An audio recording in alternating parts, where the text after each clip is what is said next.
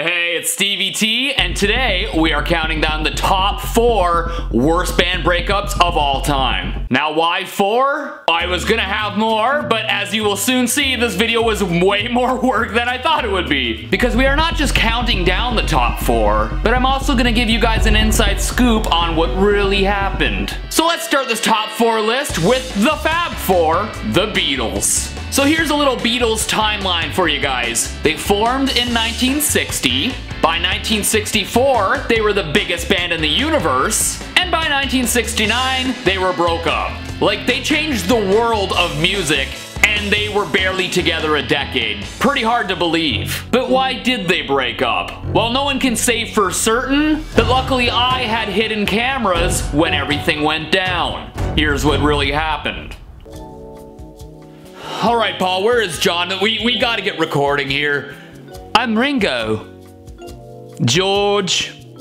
Yeah, I don't know. Jo John has been distant lately. Yeah, I, honestly, I think he has a girlfriend.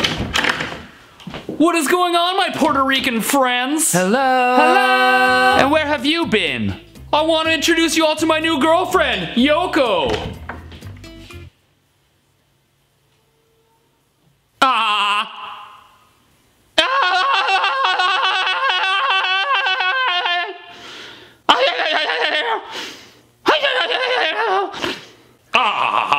Yeah, that's that's uh, that's some hot stuff right there. Yeah. So I was thinking Yoko could be uh, like a big part of the band. Yes, George. Why? Well, I thought her vocal abilities might be a nice addition to our new song. Ah.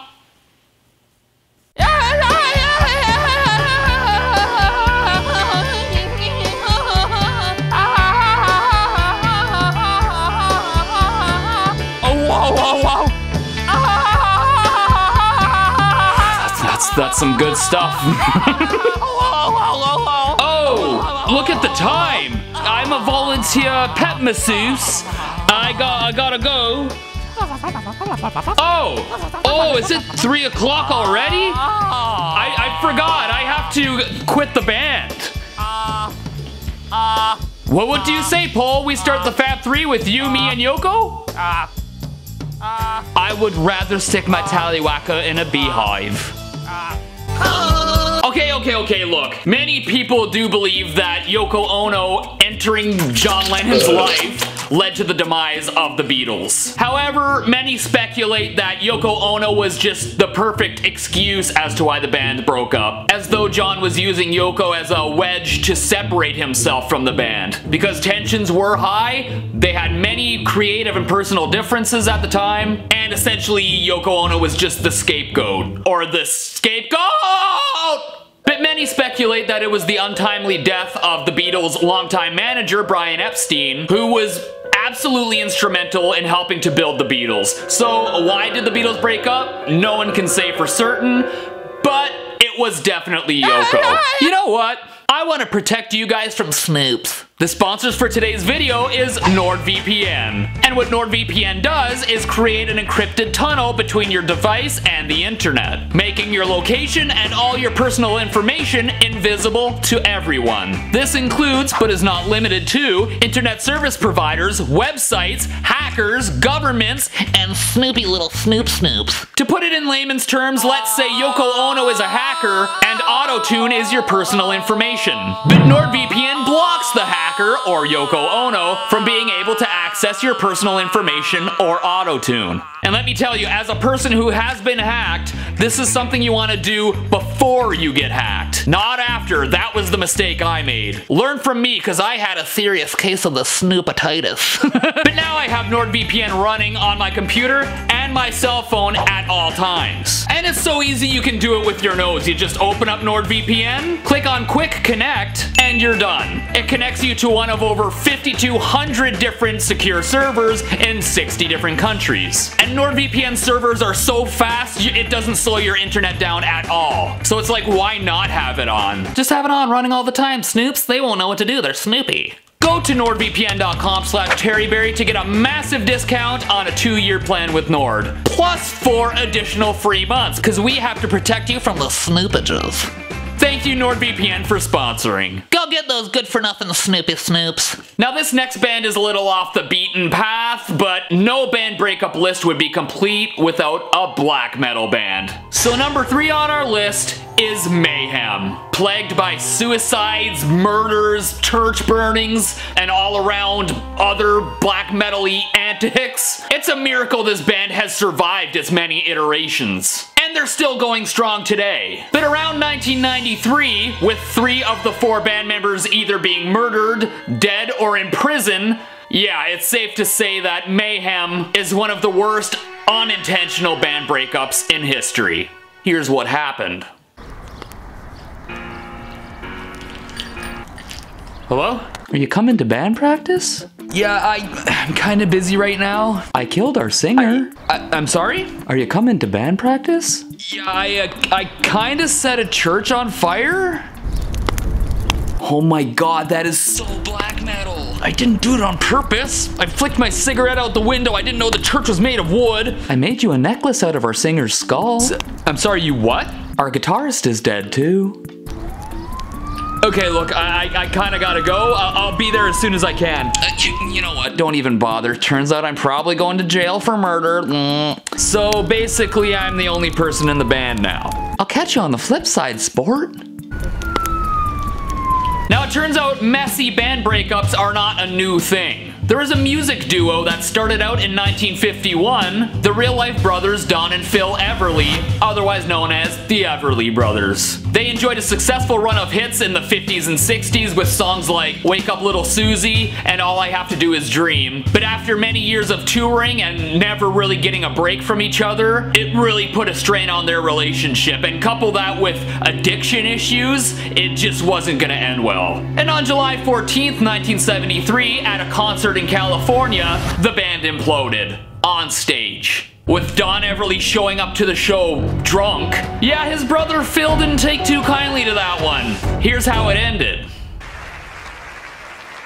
Thank, thank you guys so much for coming here today. I friggin' love you guys, okay? I friggin' love you. We're, we're, we're the Everly brothers, and this our first song is Dream.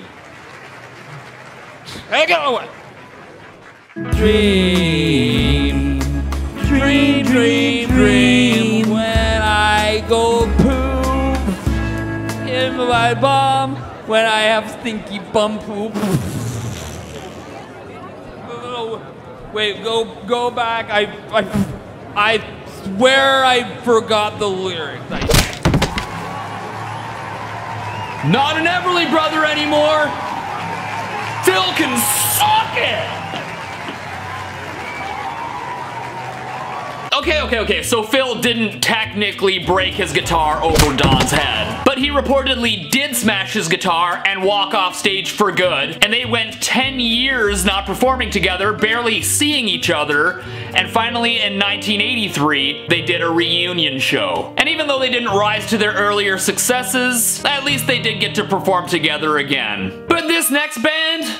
Uh, I really doubt it. Because the Everly brothers are not the only sibling group to have band issues. Number one on our list is Oasis. Now, if someone asked me what two band members in rock history hated each other the most, I'd have to go with Liam and Noel Gallagher. I don't know what it is about their brotherly connection, abilities to write hit songs, sell millions, and define an era of music, yet they can't even have a peaceful Thanksgiving dinner without going at each other's throats with a carving knife. Now, Oasis didn't just break up overnight, there were many instances where they probably could have, but in August of 2009, while preparing to go on stage for a show in Paris, they had another argument that led to the breakup of the band. Here's what happened on that fateful day. Alright, Liam, listen. The concert starts in 20 minutes. When Noel gets here, can you please just try to get along? Uh, of course, mate. F off. F off. Liam, you told me you'd try to get along. I said maybe. Maybe. You're gonna be the one that saves me. Who the f are you? We've been your band for 30 years. F off.